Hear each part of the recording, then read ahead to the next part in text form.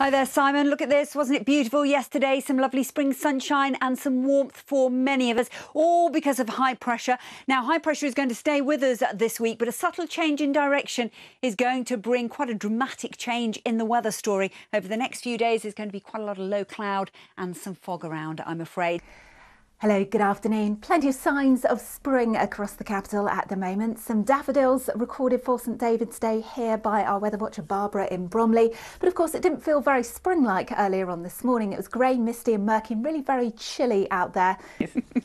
Uh, Hi there, glorious day, Fiona, today in Wales. I can almost hear that sheep saying, Oof, it's too hot for me, woolly pulley at this time of year. And they're not wrong. It was 15 degrees in northwest Wales this afternoon. But don't put those jumpers quite to the back of the cupboard cupboard just yet because it was a different story in parts of North Yorkshire. In Scarborough, temperatures struggled, only four degrees the high. It's a lot of low cloud and some fog around as well.